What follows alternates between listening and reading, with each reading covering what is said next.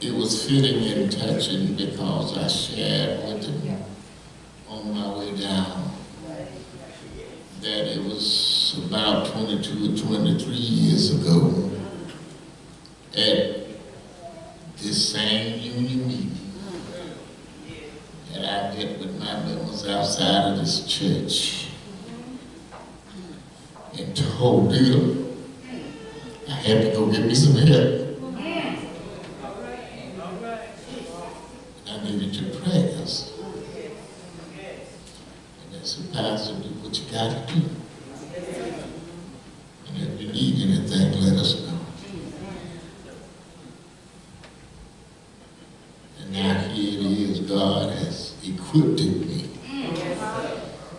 to be able to do a greater work.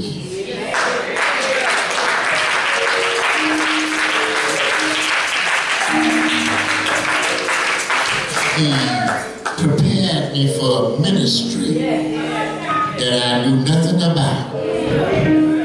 Because he knew that there was going to be some more coming that he had for me to help. Amen.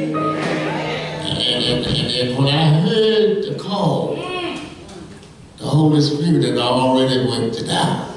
And I thank God for it. And folk look at me and said, you, don't you feel bad about what you used to know? feel bad about nothing. Amen. I thank God for my journey because it took all of that to get me to where I am now. Hello.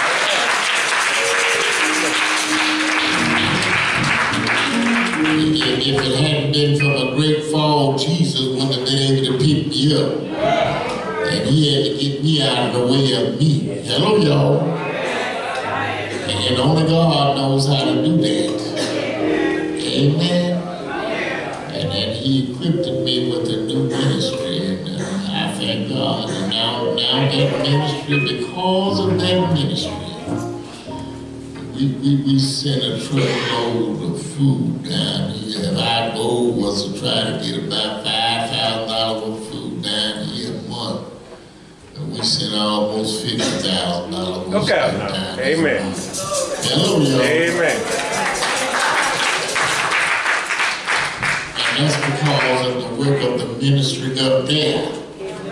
That, that little old church called Mount Olive City helped me to develop up there. Hello, y'all. Because without them, yeah, I could not have done it. Amen.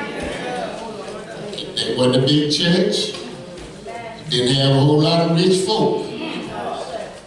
But we had some dedicated folk. And above all, we had some folk that believed in the vision of the pastor. Amen. And supported the pastor. And as a result, they get the overflow of the blessings. Amen. Amen. You, you, can't beat God. So don't be turning your nose upon nobody. You may not understand that struggle, but just tell them God is working on them. And he ain't through with them yet. Amen. I thank God for my journey. Because he brought me from mighty long ways. And just like he brought me, guess what? He can bring anybody else. Don't you be giving up on your children, your Amen. your sisters, your brothers, your mothers, your fathers. So what they ain't right? If if you put in God's hand, they'll get right. Amen. It ain't gonna be on your time, but it'll be in God's time. You just gotta be prayerful for them. That's why Jesus, that's why Scripture says you gotta learn how to pray in season and out of season. Matter of fact, Scripture said that man ought to always Pray. pray. Amen. And if ever there was a time when this world needed prayer, Lord knows it sure enough needed now. Amen. A chance to see the injustices of this society on every hand. Amen. From the White House down to your house. Amen. Free from, yeah. I want to legal pardon. Say, God, when this thing all over with, you know, y'all. Hello. See, one thing about us, we're so quick to be judgmental when it comes down to our race. And, and, and look at the other folks do stuff all the way they want to do it, and we understand it.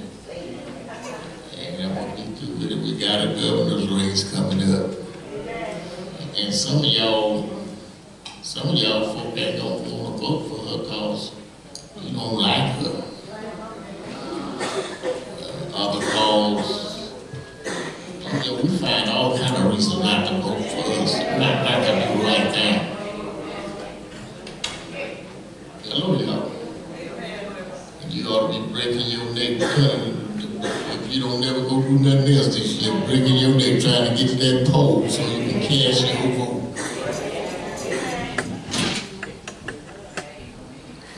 Somebody who gonna do something. If you can't do nothing but just vote for her cause she black, at least you done that much. Hello, y'all. Y'all kill me. Well, y'all come with all kinds of excuses, keep voting for us. And other folk that did everything in the world to you, but you can't see none that, but you can, you, can find every speckle in our eye.